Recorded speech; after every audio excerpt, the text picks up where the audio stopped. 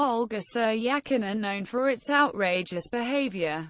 Participant group SEREBRO often publish photos with erotic content with his participation. In addition, the clip band she expresses undisguised sexuality, often going beyond the ethical norms. However, the singer is an idol for hundreds of thousands of young girls, many of whom have not yet reached the age of majority. Recently, Olga has published on the group page SEREBRO iconic photograph of John Lennon and Yoko Ono.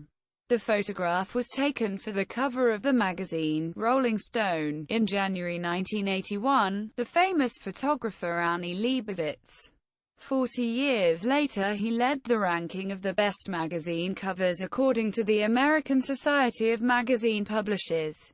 For me, all my life this image was a symbol of absolute love, Seryabkina wrote in Instagrammer. I always consider it for a long time. And then, when I saw for the first time, and every time it catches the eye of me right now, it is magic. It has everything that has to do with love and passion. Following the original photo Olga published in microblogging his version. In the picture in the same positions as the Lennon with Yoko Ono a very Seryabkina or another member of the group SEREBRO Pauline. Olga at the same time depicts John, who was completely naked. Oddly enough, but only a few fans of the star admired her creative impulse and flawless figure in the photo.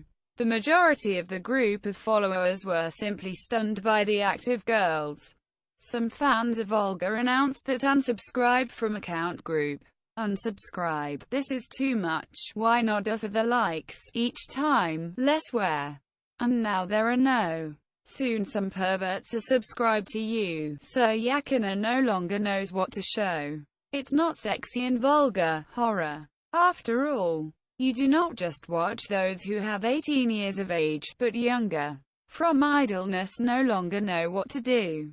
At the photo only people lie she each other. And your colleague climbed brute with shocking, hit the singer's barrage of criticism from followers. Interestingly, accusatory comments Seryabkina left unanswered.